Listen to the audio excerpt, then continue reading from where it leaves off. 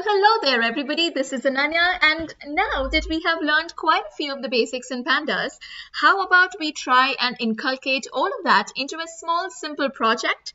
Well, today we will be doing just that, and as you can see, I have the Kaggle website open, and I have the data set World Health Statistics 2020 open for you. Now, this is the data set that we will be using today, so let's just hop right into it. Alright, so after you're done downloading this, from the zip folder, you will get plenty of files, alright? As you can see on the screen right now, there are quite a few of them. So what we will be using is from the age group 30 to 70, uh, diseases like cancer and cardiovascular diseases, we will be dealing with that. It's a very simple data set. So let's go ahead and open up Jupyter Notebook. All right, so since this is going to be a pretty, pretty simple one, so let's code. Okay, let's start with coding. And firstly, we need to import pandas. That's a first step. And next, what you want to do is, uh, let's create a variable, right? So into the variable, we say, let's say health is equal to, and we need to read the CSV file, right? So pd dot read CSV. This is the function we use. And to that, let's pass the read rights and let me give in the path. All right, this being done, you can go ahead and change the file name in case that's a little complicated for you to write. This is how the data basically looks like. Let's have a look at the columns. There are only five columns and 2,745 rows. Now remember this, um, we will need it a little later on.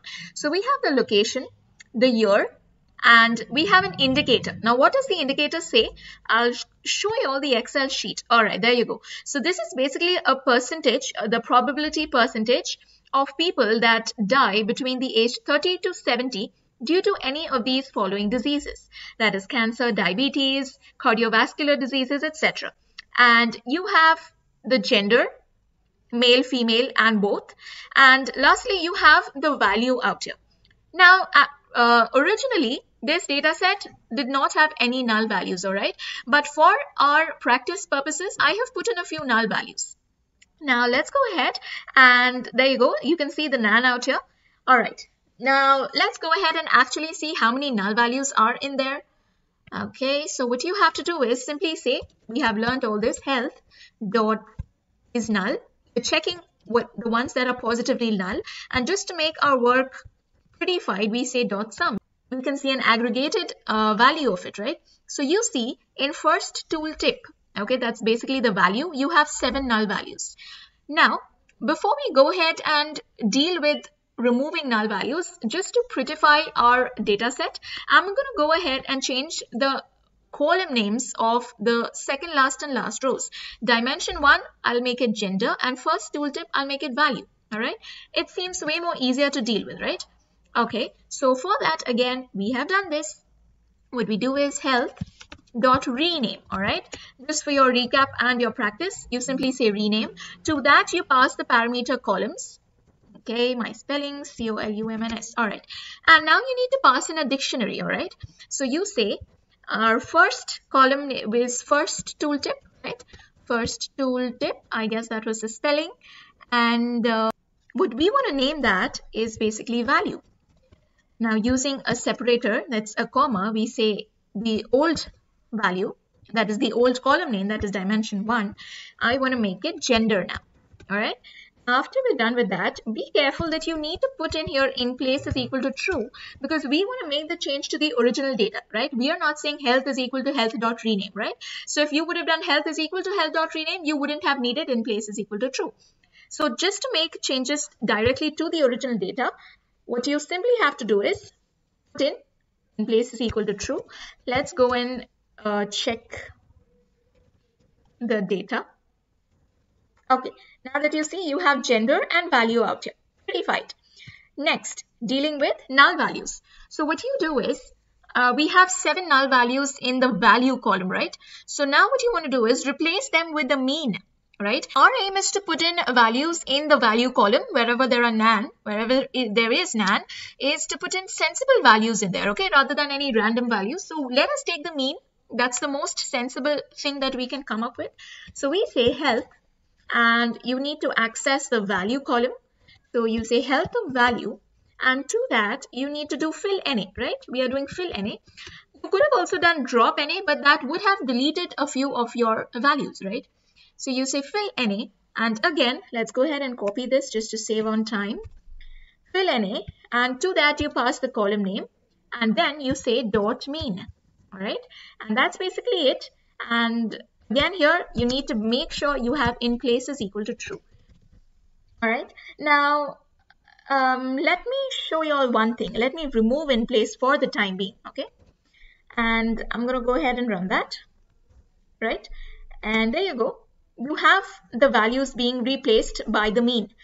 You don't have any none values out here, right? Now what I want you all to check is come back up here and run this. Okay, I'm going to go ahead and run it. Do you see? It ran again, but you see the column value still has seven none values. Why? Because we did not put in place is equal to true, right? And there you go. Go ahead and put that. Run that. Okay, there's an extra comma. Let's remove that. Now I'm going to go ahead and run this check. And there you go. There are no more NaN values in here. All right, we have successfully dealt with NaN values, removed all of them, put in proper data in place. Now, let us say you wanted to check the probability percentage of only certain countries rather than all of them being displayed. How would you do that? Pretty simple. If you are familiar with, uh, let's say, SQL, if you, if you know SQL, this is going to be a very simple function for you. It's very easy to perform it there. Well, you know what? It's easier out here because everything's happening in the back end you just need to put in some very very simple syntaxes all right so what do you say health and to that you pass health of location is in that you're checking it if it is in and then you pass in the following list i'm gonna just randomly take india okay and i'm gonna take malaysia you can check in as to whatever country you want that's present in this list and let's go ahead and run this now there you go you have the data of only India and Malaysia present for you. Okay, you have no other country. Pretty nice, right? You can access and make your work, your life way more easier. Now what I want to do is, uh, I'm going to check in the minimum, okay, the minimum of the values in here. So I shall say health of a value and, okay, that went outside. Huh, okay. So I'm going to check the minimum. Why am I checking the minimum? I'll, I'll come to that. So you see the minimum percentage is 4.7. Now what I want to do is countries having values or let's say death rates that are below 10%, okay, less than equal to 10%, I simply want to remove them. How do you think we can do that? Again, a very simple operation. What we say is you check health, okay, then you pass in okay health of a value because that's what we want. And next you say greater than equal to 10 right? So what i'm doing is i'm temporarily not displaying the values that are less than 10 all right? So let me say greater than 10 and i'm going to go ahead and run that. And now keep a note we have 2600 rows. So basically 145 rows compared to this value 145 rows have values less than equal to 10 now how about we can delete them permanently? You basically have to apply the tilde sign and pass the health value inside it. Now you want to delete okay this basically acts as a delete function. You delete everything that is less than 10 right? Less than equal to 10 you want to keep everything greater than 10 let's go ahead and run that now and there you go you have successfully changed that and you only have these many rows in here. Everything else has been deleted. All right, now this being done, this was again a very short project, but a pretty helpful one. We'll come across many more projects such as this, a little more complicated also because this was very basic levels, but it helps sharpen your practice and your knowledge. So bye-bye, I'll see you all soon.